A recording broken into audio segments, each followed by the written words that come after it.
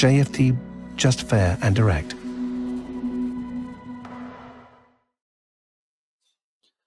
Good morning, everyone, and welcome to JFD's weekly market outlook webinar for the week August the 2nd until August uh, the 6th. I am Charalambos Pissouros, Head of Research here at JFD, and I will describe the most important economic releases and events on the financial agenda for the week ahead. But before we start, let's read our disclaimer. The content we produce does not constitute investment advice or investment recommendation, should not be considered as such, and does not in any way constitute an invitation to acquire any financial instrument or product. I will leave you a few seconds uh, to read the rest, and then we will jump into our analysis.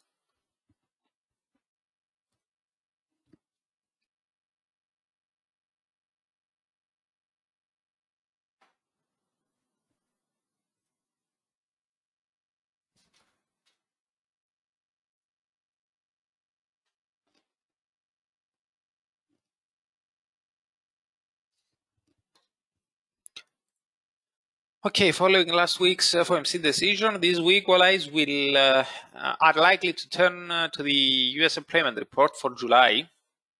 Expectations are for a strong report, something that could come in contrast with Powell's dovish remarks at uh, last week's press conference and may revive speculation with regards to an earlier tapering. However, we will get into detail uh, on that in a while. Besides the NFPs, we also have two central banks deciding on monetary policy, and those are the RBA on uh, Tuesday and the Bank of England on Thursday. And we also have more employment reports. Uh, we have the Canadian employment report, which is coming at the same time as the US one on Friday. And we also have uh, New Zealand's uh, employment report for the second quarter, uh, scheduled to be released on Wednesday during the Asian session.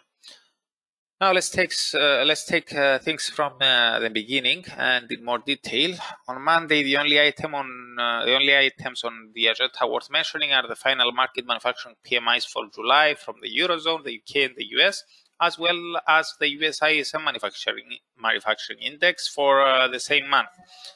As it is usually the case, the final Markit prints are forecast to confirm their preliminary estimates. That said, the ISM index is expected to have risen to 60.9 from 60.6. On Tuesday, during the Asian session, the RBA decides on monetary policy. Remember that at the July gathering, policy, uh, policymakers uh, announced that they will proceed with more bond purchases beyond September and also said that they are planning to keep interest rates at current levels until 2024. Since then, the employment report for June revealed that uh, although revealed that although the unemployment rate declined to 4.9 4.9% from 5.1%, the economy uh, actually added only 29.1 thousand uh, jobs compared to the 115.2 thousand in May. What's more, the CPI data for the second quarter showed that the headline rate surged to 3.8% year over year from 1.1%, surpassing the upper bound of the RBA's target range of 2 to 3%. However, the core rate rose only to 0.8% year over year from 0.8 0.6%, staying well, below the lower end of uh, that range, of the RBA's target range. Therefore, with underlying inflation staying subdued, we doubt that policymakers will have a different uh, view at this uh, meeting. We expect them to stay dovish and repeat that interest rates are likely to stay untouched until 2024. As for the rest of uh, Tuesday's events, uh, during the Asian morning, uh, besides the RBA decision, we also have Japan's Tokyo CPIs for July, and um, later in the day, we get the US uh, factory orders uh, for June. With regards to the Tokyo numbers, no forecast is available for the headline rate, while the core one is anticipated to have ticked up to minus 0.1 year over year from minus 0.2%. As for the US factory orders, they are expected to have slowed to 1% from 1.7%. Now, on Wednesday, during the Asian session, New Zealand releases uh, its employment report for uh, the second quarter. The unemployment rate is forecast to have declined to 4.5% from 4.7%, while the employment change is forecast to reveal that new jobs accelerated to 0.7% quarter over quarter from 0.6%. As for the labor costs uh, index, it is expected to have accelerated as well to 0.7% quarter over quarter from 0.4%, something that will take the year over year rate up to 2.1% from 1 from 1.6%. At its latest meeting, the RBNZ kept interest rates untouched at 0.25%, with the language in the accompanying statement being more hawkish than expected, which raised speculation that uh, this bank may push uh, the hike button even as soon as uh, uh at this uh, month's gathering. So, with that in mind, a strong employment report may increase speculation over a rate hike at uh, the bank's upcoming gathering and thereby support the New Zealand dollar. Australia's retail sales for June and the second quarter are also, are also coming out. The month over month rate for June is forecast to have tumbled to minus 1.8% from uh, plus 0.4%, but the quarter over quarter uh, rate for, uh, for the second quarter is anticipated to have rebounded to 0.9% from 0.5%. Uh, from minus 0.5%, excuse me. Later in the day, we have the final uh, Markit services and composite PMIs for July from uh, the EU, the, the EU, the, the, Eurozone, the UK, and the US, uh, as well as uh, the ISM manufacturing PMI for the same month and uh, the ADP employment report for July. The final Markit prints are expected to confirm their preliminary estimates, while the ISM non-manufacturing PMI is anticipated to have inched up to 60.4 from 60.1. As for the ADP report, it is expected to show that the private the private sector has gained uh, 700,000 jobs, slightly more than uh, June's 692,000. This could raise speculation that the NFPs due out on Friday may also exceed somewhat their June print. Uh, now on Thursday, the main event, the main item on the economic agenda may be the Bank of England uh, decision. This is a super Thursday. We are apart from the decision, the meeting statement, and the minutes. We also get updated economic projections and a press conference by Governor Andrew Bailey. Last time, this bank decided to keep its policy settings unchanged, with only one member voting in favor of uh, quantitative easing tapering. That member was Chief Economist Andy Haldane, for whom that was the last uh, the last meeting.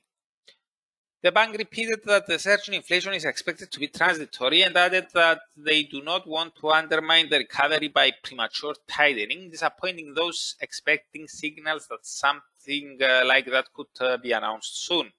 However, since then, a couple of officials expressed uh, the view that tapering should start sooner than previously thought. Thus, it would be interesting to see whether we will have, and if so, how many votes in favor of tapering. We will, we will also dig into the statement and, uh, and the minutes for clues as to whether even those voting against quantitative, quantitative easing tapering at this gathering uh, even if those are planning to support such an action at uh, the upcoming gatherings. So, with regards to and with regards to economic uh, projections, officials could raise their inflation projections, but um, uh, but they could still hold the view that the surge is likely to prove to be temporary. That said, due to concerns over uh, the Delta variant of the coronavirus, the growth outlook remains uncertain. In any case, a more hawkish vibe than previously could support the British pound.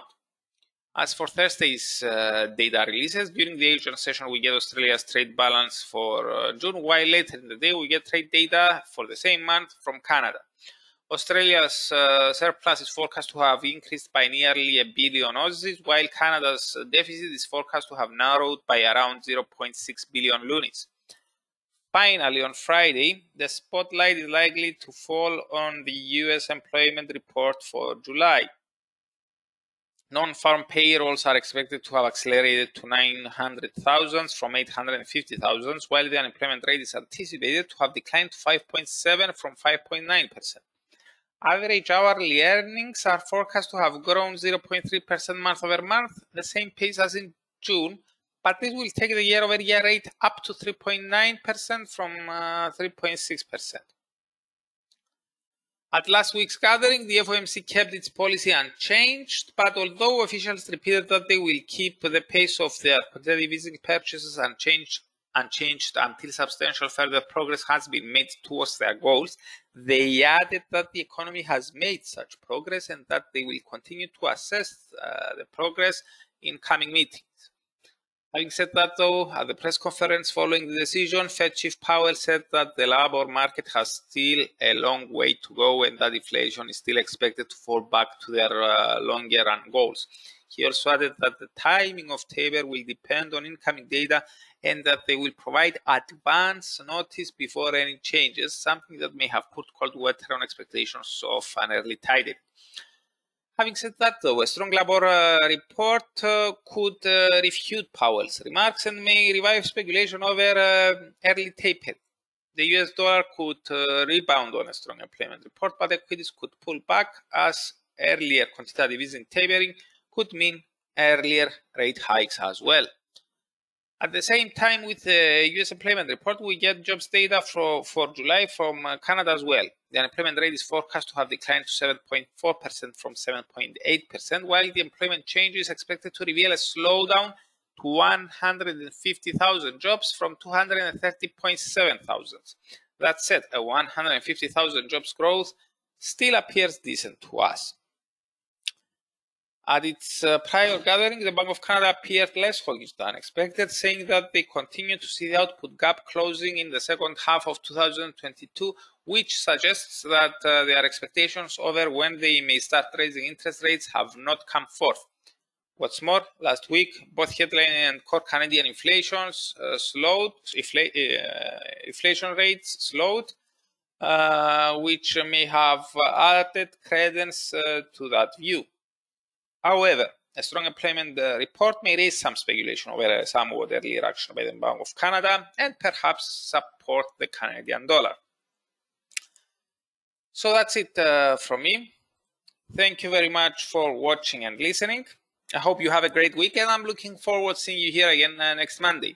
If you are interested in more detailed and frequent analysis, you can find me on our YouTube channel from Tuesday to Friday at around uh, 8 o'clock a.m. Uh, GMT time. So bye and uh, have a nice day.